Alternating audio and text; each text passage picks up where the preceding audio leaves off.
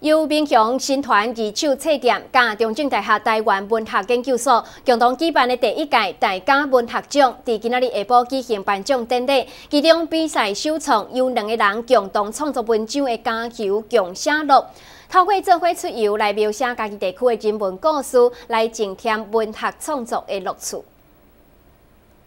闽雄新团二手册店系得到文化部补助，和中正大学台湾文学研究所共同举办着第一届大家文学奖，鼓励地方的文学创作。二十号下晡举行着颁奖典礼，你比赛是分为各中小组、高中组、现代诗和散文的评比，系得到现代诗高中组第一名是来自家中，是写出破祖恰秀的地方文化，就是文化啊或者刺绣刺绣馆的刺绣文化。像我这篇文章，它其实就是有有点。引用就是刺绣的一些概念，然后来衍生写出一首诗词。另外，推行地方文章写作的中部乡和兴国小也结合课程来参赛，是得到比赛优定。那这一次的参赛，我们是跟孩子做协商主题来参赛哈，所以很高兴说这一次刚好其中一个孩子的一个主题溪口的酸菜能够得名，我们是非常的高兴。由这样的一个设计获得全国来自于全国的文章达到一百多件，一百零二件，所以。这个在我们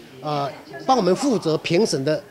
中正大学台湾文学研究所的一些评审呢，跟名作家感觉到。这个是盛况空前。这次比赛也特别规划两个人共同来创作一家由共写录比赛，是台湾文学比赛罕见的，有两个人共同来写文章。而大家文学奖这次也连接地方单位共同推广各地人写出家己的文学故事。啊，两人共写共写的这样的一个呃新的写作方式。那么这在台湾的文学奖。比赛当中呢，呃，是首创。那我也希望说，这个首创它能够带动家庭书写，家，然后呢，扩展到家庭的阅读，成为呢，不管是亲子这种很密切的用书写呢，来呃表达对于地方之爱，来表达人与人之间的呃特殊这种亲密的情感。好，那我们都呃就说呃义务支持啊那个评审以及哈。